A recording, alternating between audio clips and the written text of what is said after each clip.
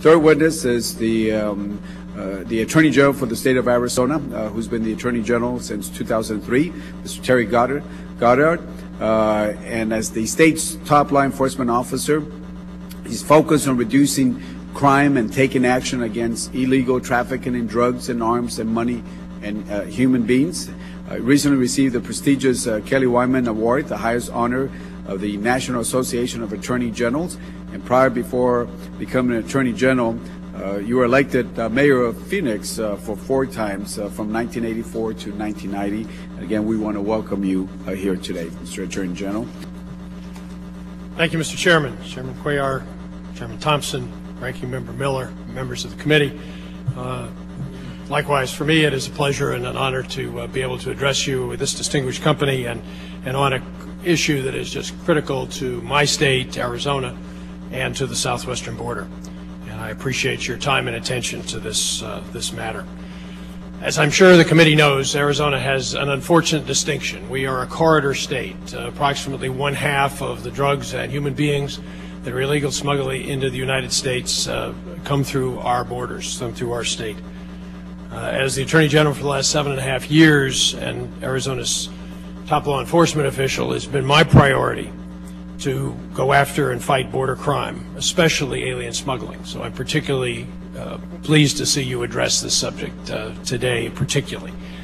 I'd like to talk to you a little bit about uh, the lessons that we've learned in fighting human smugglers and how I believe Congress can be of significant assistance in zeroing in on the problem and giving us some important resources to do something to move the to move the bar. Um, the chief left a minute and a half on the table. Can I take that as well? Uh, thank you, Mr. Chairman. Uh, I, will try not to. Uh, my strategy has been very simple, and the chairman mentioned it in his opening remarks. It's to follow the money.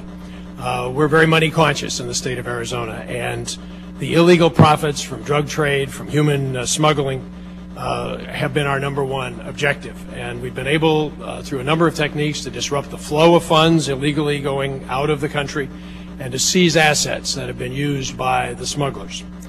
Uh, this, this approach has been very successful in Arizona at breaking up smuggling rings, and I recommend it uh, to the country as something that they can take advantage of, and I appreciate GAO analyzing uh, parts of our efforts and, and making uh, some recommendations to ICE along that line. Uh, unfortunately, misstatements abound about the southern border, and I think uh, we need to focus on the facts. Uh, they're bad enough. Uh, as the Justice Department said uh, last year, the drug cartels constitute the greatest organized crime threat to the United States. I certainly agree. They are definitely the most immediate threat to the security of my state of Arizona. Although violent border crime on the Arizona side of the border is down, and I think that sometimes gets lost in the, in the rhetoric that we have about these issues, we know that serious crime and violent crime has skyrocketed in Mexico, and that certainly is reason for concern.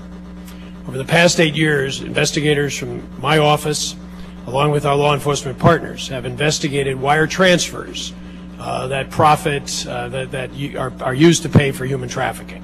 We've learned an awful lot about that, and I'm not going to go into the details unless there are questions. But I think the bottom line is that we've been able to distinguish between the massive amount of legitimate wire transfers going across the border and the corrupt ones that deal specifically with human smuggling. We've used some very specific law enforcement techniques, damming warrants, geographical targeting orders, uh, and other aspects of our anti-racketeering laws to seize wire transfers as they are made, to disrupt the operation, and we've gone from hundreds of millions of dollars being wired into the state of Arizona to virtually nothing today. So I know we've disrupted it, uh, but we need to expand that effort. Uh, we basically have been able to find investigative leads through our efforts and have therefore been able to close drop houses, to learn how the smugglers work, and to apprehend many of the aspects of their operations. We've seized over 20, approximately $20 million in cartel assets. We've arrested hundreds of human smugglers and corrupt money wire agents. We've seized used car lots, travel agencies, and drop houses. We've shut down 22 businesses engaged in money laundering. Just this year, we reached a uh, very important agreement with Western Union, the largest uh, money wire company in the world. And from that, we're going to get important data that has been denied us in the past, and $94 million approximately to help fight the crimes on the border. 50 million of that is going to be a specific fund for state and local law enforcement in the four border states. And I believe that's a great step forward in our efforts to fight border crime. It's not enough, but it's a very good start.